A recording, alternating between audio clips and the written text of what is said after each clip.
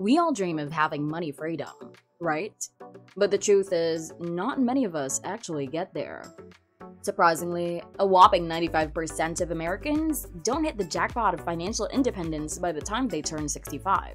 Instead, they end up relying on the government, charity, or their families. But guess what? It doesn't have to be that way. Hello, everyone, and welcome back to Finance Home Front.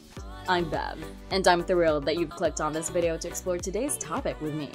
I appreciate having you here. So, let's kick off with the idea of financial freedom. Achieving financial freedom means that the money you receive regularly without actively working, also known as passive income, is more than what you spend each month. Once you hit this point, you're free from the grind of working for a living. Congratulations! You've stepped off the hamster wheel. Now, let's dig into passive income. It's the money that keeps flowing in regularly, needing little to no effort on your part to maintain. There are various sources of passive income, but I firmly believe that investing in commercial real estate offers the best opportunity for building wealth and increasing passive income. On the flip side, there's active income, which comes from providing a service. Your typical job is a prime example of active income. You need to perform a service to earn your paycheck.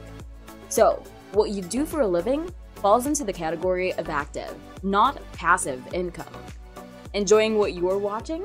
If you are, just hit the like button, subscribe, and ring the bell. Your involvement means a lot, and it boosts our little channel, making it more visible. Everything good? Awesome, let's get going. You can start creating different sources of passive income gradually. Let's take a look at some of these passive income streams. Interest income. You can earn monthly interest from fixed income instruments like fixed deposits and bonds. These instruments offer interest income at various intervals monthly, quarterly, half yearly, yearly, or upon maturity. If you prefer monthly interest, you need to specify this in your fixed deposit application. For bonds, choose those that pay monthly interest. Dividends from equity shares. Many companies announce dividends, but the frequency and amount aren't fixed. Dividends can be paid quarterly, half yearly, and yearly. Some companies might also declare special dividends occasionally. The dividend amount depends on the company's profit, current cash flows, and cash reserves. Look for companies that increase dividends annually, like American States Water, Dover Corporation, Northwest Natural Holding. Rent from real estate. Investing in residential or commercial property and renting it out can generate passive income. Typically, rent increases over time, but economic downturns may lead to reduced rent. Generating rental income requires a significant investment in real estate, making it a substantial commitment. If buying an entire property is challenging, you can explore fractional real estate, where multiple individuals collectively own a property based on their investment proportion real estate investment trusts, or REITs. Instead of directly owning property, you can buy shares or units of a listed real estate investment trust. Examples include Crown Castle Incorporated, Realty Income Corp, and Equity Residential. REIT shares are affordable and they declare quarterly dividends, known as distribution per unit or DPU, making money every month from different kind of investments. In recent years, lots of new companies have popped up in the world of alternative investments, offering ways for you to earn money without working too hard. Take peer to peer or P2P lending, for example. On platforms like these, you can lend money directly to people who need it. Every month, you get back a part of the money you lent, and guess what? It includes some extra for you. That's your profit and a bit of extra cash rolling in. Then there are these cool startups that let you be part of asset leasing. Here's the deal you and other folks pool your money, and the startup buys things like office furniture or vehicles. They rent these things out to companies who pay back every month. You get a chunk of that payment, and it could even include some of the money you put in. That's like a little bonus. Another option is invoice discounting. It's like this you and others put your money together and lend it to a company against an invoice they're waiting to get paid. They give you back the money with a little extra on top as a thank you for your help. Now, hold on a sec. These ways of making extra cash might sound awesome, but they're not without their risks. High returns mean high risks, so you've got to think about how much risk you're comfortable with before diving in.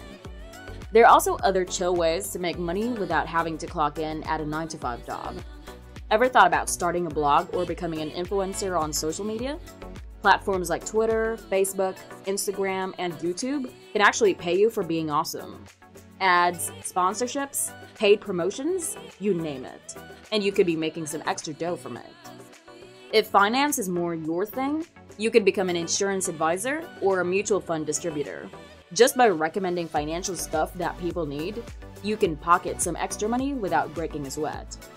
And get this, you could rake in cash through royalties from book sales or selling online courses and ebooks. Imagine earning money while you sleep. That's a dream, right? You know what's cool?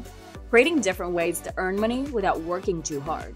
At first, these money streams might not be as big as your regular job paycheck, but eventually, with a solid plan and some patience, you can watch them grow over time. Picture this one day, the money you make without working a 9 to 5 might actually be more than what you get from your job. The secret sauce is to not put all your eggs in one basket. Diversify, as they say. Have a bunch of different ways to make money so that if one of them goes a bit wonky, you've got others to fall back on. And here's where it gets really good. Having money roll in without you having to punch in at an office gives you something priceless time. Imagine this your passive income is so rock solid that you can kiss that full time job goodbye. Suddenly, you've got all this time on your hands to do whatever makes you happy chilling with family, diving into your hobbies, trotting around the globe, or even getting involved in some community goodness. Going for financial freedom? Passive income investing is the key. Diversify your income, let your money do the work, and break free from the daily grind. Watch out for risks, plan wisely, and keep learning. It's a journey, not a race.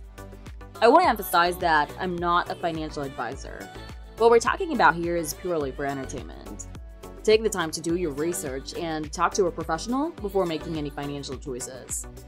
It's crucial to make informed decisions tailored to your situation. Thanks for joining us on this journey to financial freedom through passive income. What steps are you taking to build your passive income? Share in the comments. If you found this helpful, give us a thumbs up, subscribe, and hit the notification bell. Your support means the world. Until next time,